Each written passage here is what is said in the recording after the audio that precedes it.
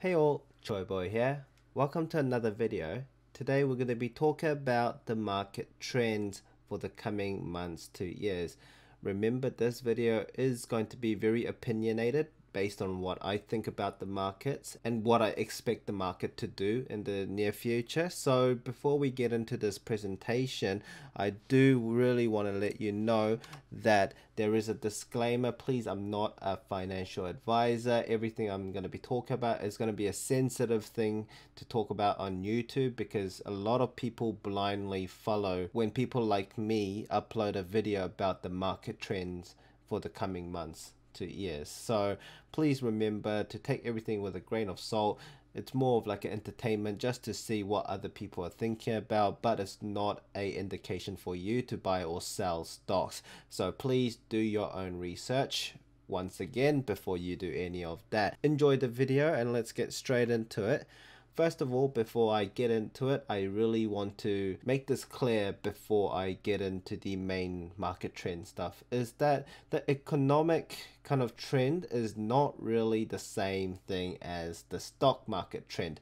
They share the same long term trend, like for example, in the bigger picture, in the greater scheme of things, they are pretty much on a similar kind of level there but they can behave pretty pretty differently um, amongst each other. So I think there was a really good analogy that I really liked when I was looking through some YouTube videos and I think someone mentioned something like this a man and a dog going out for a walk. That's a really good representation of what the economy and the stock market's kind of relationship is. The man is the economy and the dog is the stock market. I don't know where I saw this, but yeah, credits to the guy whoever said it. So, pretty much, they walk a similar direction, right? In the greater scheme of things. For example, they might be walking from home to the supermarket. In the great scheme of things, they might be going up, down, or sideways, right? Even though they're walking the same direction in the greater scheme of things, the dog doesn't exactly take the exact path of the economy, right? Not only that, um, while the economy is going upwards, the stock market can go down, and vice versa. The stock market can be going up, but the economy can be going down. For example, right now, the economy is not getting better, obviously, at the moment. It's going either sideways or downwards.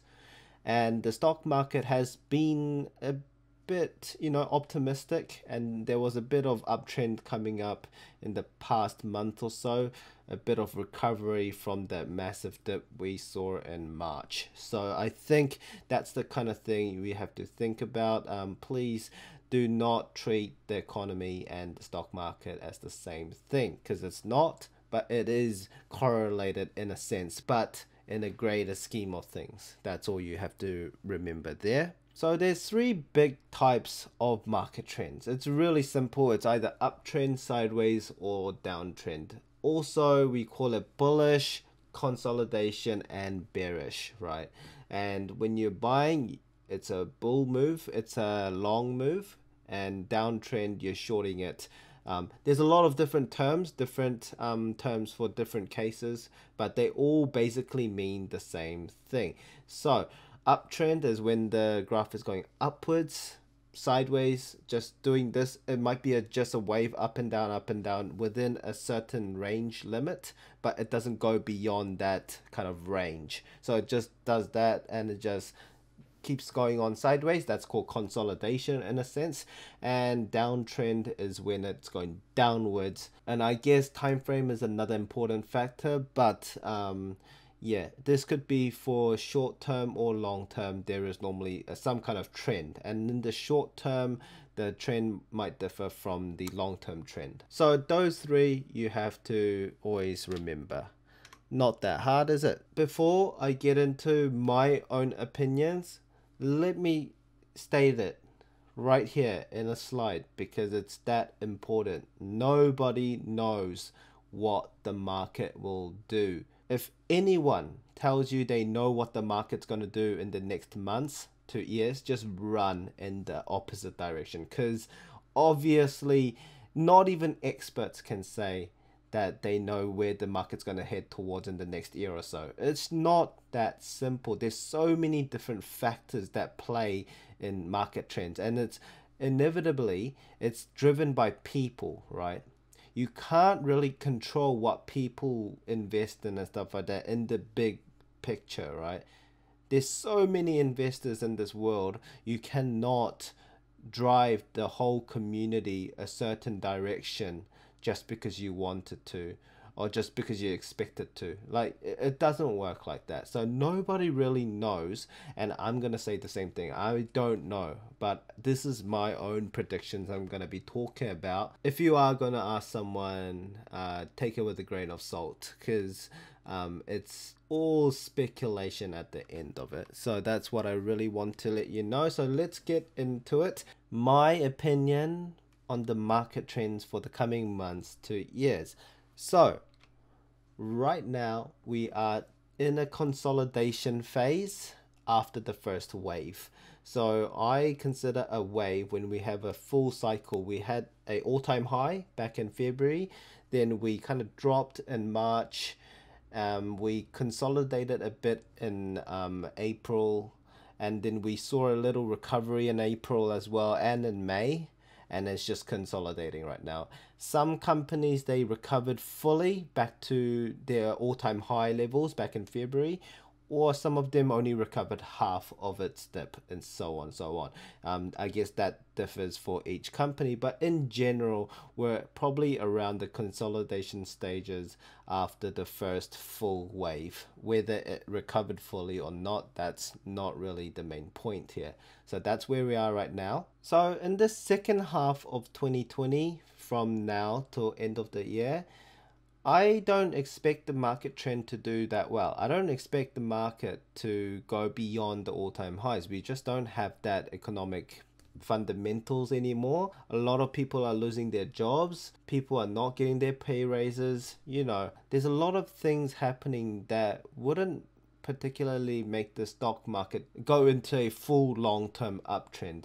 Um, if that's what you're looking for, I personally don't think it's going to happen. I hope we see a second dip so I can buy up more stocks, you know what I mean? But in all seriousness, I think we will see a second wave come through, which is a second massive dip, and it might even break the support levels of some companies that didn't dip much already. Of course, um, the market trend doesn't always work with all companies. Um, it really depends on the nature of the sector and the company and stuff like that. There are a lot not a lot, but there are a few recession proof companies that just operates and operates and operates whether the climates are up or down. For example, we got a company like Spark a lot of people use broadband and mobile phones etc etc they don't really lose their business because the economy is falling or the stock market's falling right like it doesn't matter if the economy is bad, people still going to use their phones, people still going to use their broadband and stuff like that. So for their business, it's relatively recession proof, and that's what you would call a recession proof. Same with Countdown or Pak'nSave or these supermarkets, consumer staples. People don't do anything differently during a recession with these kind of companies, right? They just utilize them as they normally would. Milk, food, and clothing, and just normal retail stuff, these things people just need it in their basic lives, so these things are normally not that affected. But in the general scheme of things, I am looking for that second wave to kick in and I want to see another dip coming because I think people are too optimistic at the moment and I really don't know if this is sustainable. It might continue to just consolidate for a longer period of time, but I personally think it would have a second dip. Whether it will retest the support levels that are created in the past month or two, we are not too sure but we will see about that. In 2021, I expect it to consolidate for a longer period of time and kind of get ready for the next economic expansion. And once the economy starts going up again, the stock market can also kind of pick it up as well. So I think the consolidation will be somewhat long. It really depends on what happens from now till end of this year. Will kind of determine exactly what might happen after that.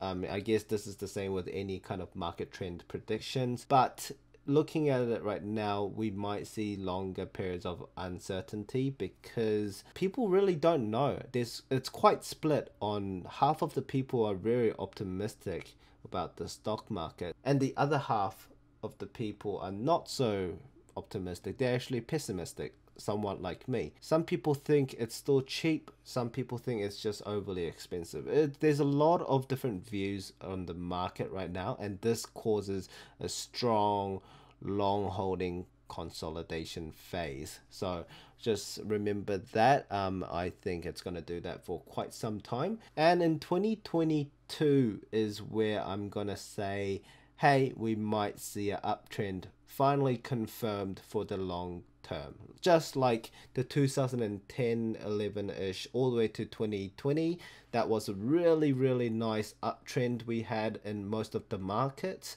And I think we're going to see something like that somewhere around 2022. These were my opinions on the market trend.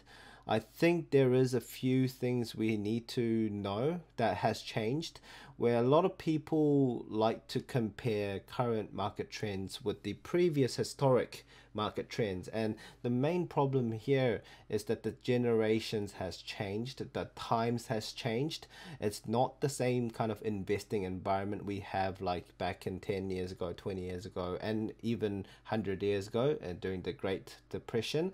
I think the internet and how fast we can obtain information about a company or a fund, you know, all these alert systems, bot trading, I think a lot of these things kind of make it really, really hard. There's an extra layer that has been just put on top of stock market investing, and it just makes the complexity a lot more harder because we can obtain information so quickly. People react to these kind of price changes dramatically compared to back in the days. For example, if Facebook went down for a period of days, people will know it by the hour, right? People will be like, hey, why is Facebook down? Oh my goodness, is the system dead now?